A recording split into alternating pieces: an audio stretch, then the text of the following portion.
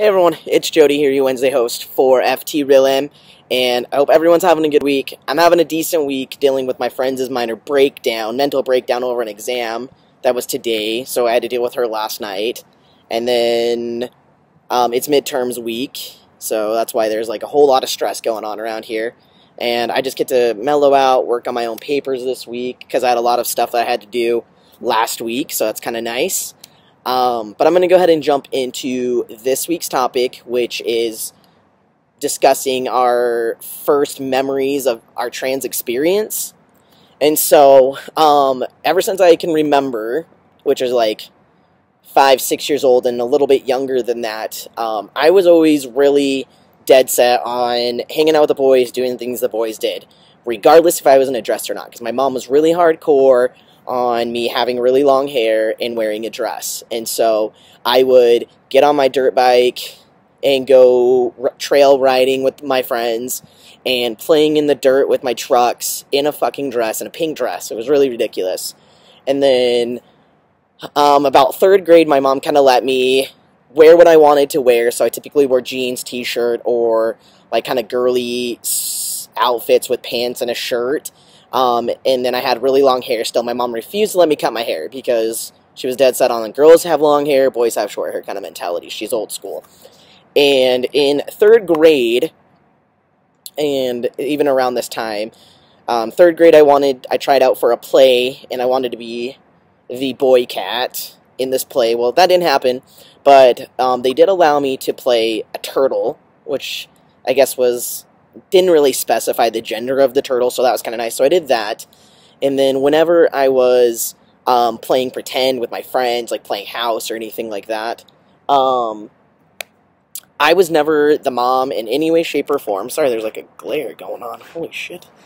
Um, and so I never wanted to be the mom. I always wanted to be the dad. And if I and if so I had like really girly friends, and so they played the mom and I played the dad, and that was just how it was. And then when I got to like middle school, junior high, high school age, um, I started meeting a few people off the internet um, as a guy, and then I stopped talking to them because I didn't want them to find out that I was actually born a female.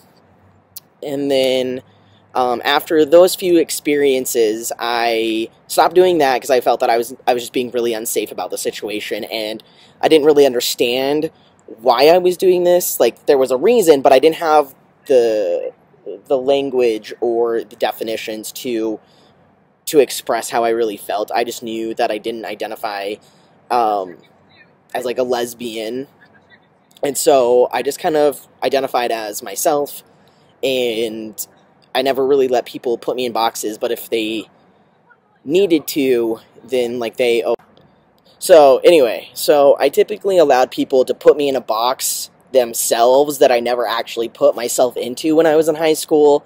But a lot of my friends were actually really cool. My some of my really good friends, especially my best friend. Um, I did have a girlfriend in high school for a little while, and I remember telling her, and I really couldn't explain to her why I felt this way, but I told her that I wasn't a lesbian, but I had a girlfriend, and that I didn't I didn't feel like I was gay or anything like that. I just had a girlfriend, and that's just kind of how it was. And she didn't really care, and we kind of rolled with it.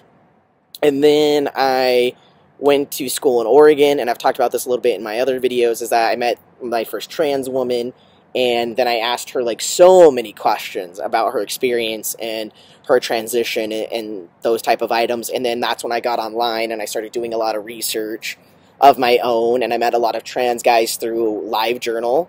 If you don't know what LiveJournal is, it's a blog kind of website. I'm pretty sure not a lot of people I think some people still use it, but I don't use it anymore even though I've never actually deactivated my account. So my blog is still out there on in the interweb of space. There's like this funkiness going on with my computer. All right, sorry, yes. And so um, I started doing a lot of networking, and then I decided that I wanted to join the military, but I couldn't be, I couldn't transition while in the military, and so I had a lot of online support um, from the few groups that I was in on Live Journal. And they said it, you know, I was having a conflict, and they're like, well, it doesn't make you any less trans for you to postpone your transition to do something that you really want to do and so that's what I ended up doing. And Um, I don't ever really regret that, but that's kind of the overall view of my transition or my trans experience. Sorry. So if you guys have any more specific questions for me or any other questions, um, go ahead and hit me up down below, and I will get back to you. Otherwise, I will see you next Wednesday. Peace.